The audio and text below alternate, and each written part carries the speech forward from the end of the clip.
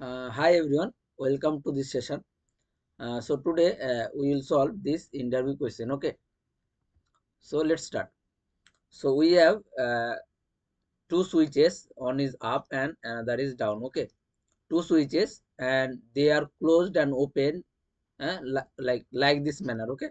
These are the uh, like when the switch is high, so then the switch is closed and having like they are ideal switches. So having when the switch is on the resistance on resistance is zero okay?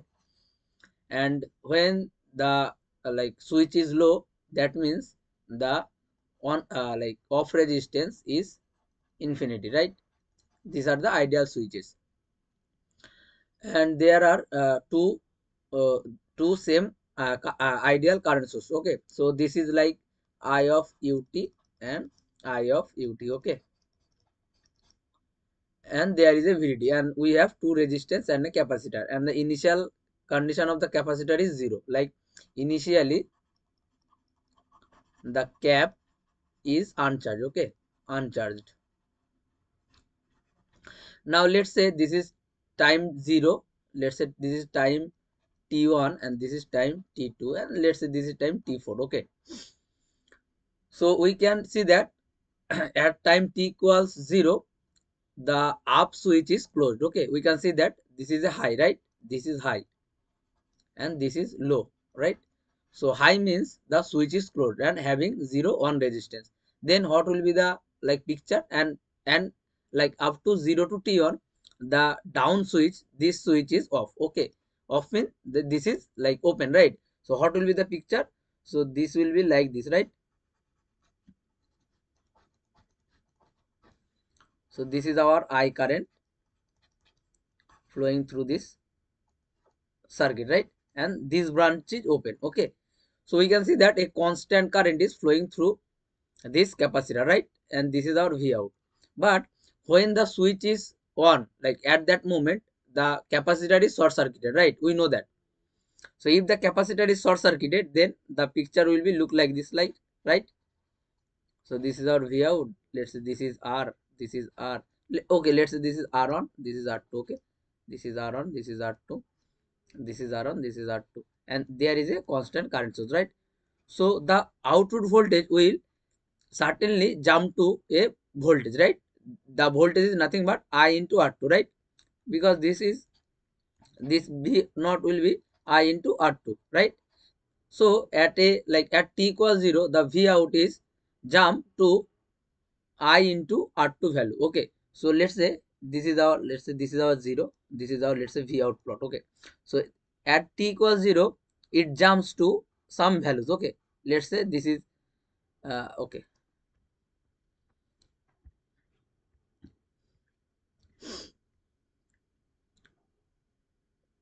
So we can see that this directly jump to a voltage. This is nothing but i into r2 then then we can see that the there is a constant like uh, constant current charging the capacitor. So what will be the output? Output across a capacitor like the voltage across the capacitor will be a ramp right? We know that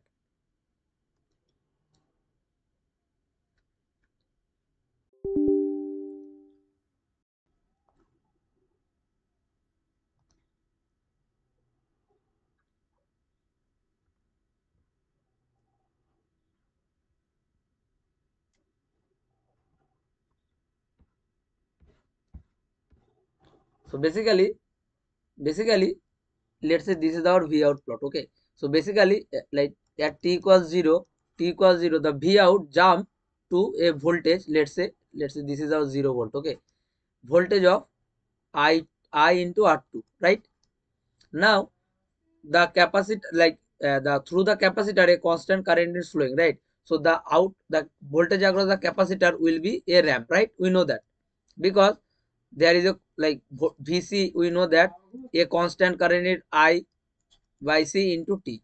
So when like if the time increases the voltage across the capacitor will increase linearly right? So let's say this increasing like this okay? This will be the linear charging okay? Up to that let's say this is 0 this is t1 this is t2 okay? And this is let's say t3 so it will charge like linearly right? Now we can see that at this time duration like t less than t2 and greater than t1 both of the switch are on right? So how will be our reduced picture?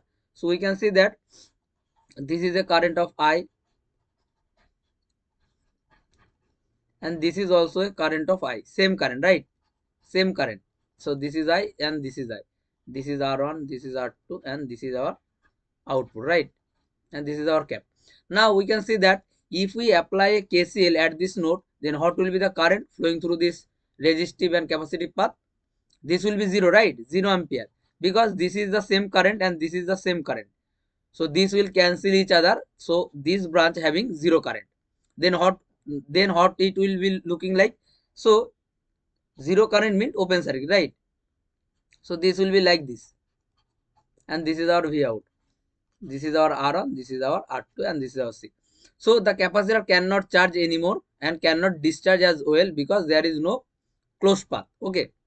Now at at at t equals t1 certainly the uh, current through this through this branch is zero. Then the i into r2 drop will be zero right? But vc value the voltage across the capacitor will hold its previous voltage right so what happens is and we can see that this this potential this maximum potential will be nothing but i r2 plus vc right? Like this voltage this is our vc and we can directly find the vc value uh, using this formula. Okay so we need to need the time like at the like here the t will be equal to t1 right? So that we can find the vc voltage and we can then we can find the overall voltage but we have we have seen that certainly the i current is zero.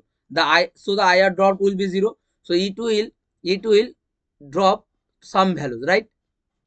At t equals t1 now we can see that and and and the v out output will be nothing but vc only right? Because we can directly see that v not equal to nothing but v like i into r2 plus vc right we can directly uh, find from here. So this is going to zero. So we have v out equal to vc itself. Okay. And and so this this this voltage is nothing but now is vc right? Okay. Vc at t equals t1 now again after t2 like after t2 both of the switches are zero right? Low right? So both of the switch are open. So how will be the picture the picture will be nothing but so this is open and this also open. So this is nothing but same same same thing. Previous like what we have seen in this case. So there is no charging and no discharging. So the capacitor will hold its previous voltage. So this voltage this was the previous voltage. It will so previously we have that right? So it will hold this value right? This voltage. So this will be like this okay? So this is our final waveform so what happens here is at t equals 0 there is a like the capacitor will act as a short circuit. So the all of the voltage all of the voltage like all of the current flowing through this branch.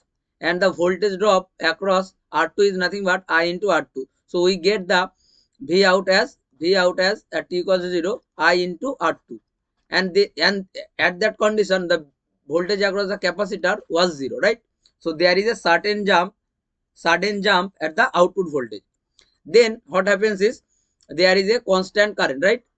So constant current is flowing through a capacitor. So this will charge linearly. But after a time where t greater t2 and less t1 like greater uh, t1 and less than t2 then both of the switch are on. So there is no current flowing through this branch because this is same current and this is same current so the the capacitor cannot charge and cannot be discharged. Okay. So what happens is instantly the i becomes zero through this branch. Though i i into r2 drop becomes zero. So the output fall from like previous condition from below from this from the previous condition. And this range this range is nothing but i into like this this like this step is nothing but i into r2 and this step is also i into r2 okay? So this voltage from 0 to here is i into r2 and here we can find that this voltage this like this voltage is nothing but i into r2 and then then like we can find that the both of the switch are closed like open. So there is no path to charge and discharge the capacitor so it will hold its previous voltage. That is that is nothing but this right? So this is our final waveform so if you like our video you can subscribe our channel and please give your valuable feedbacks. Thank you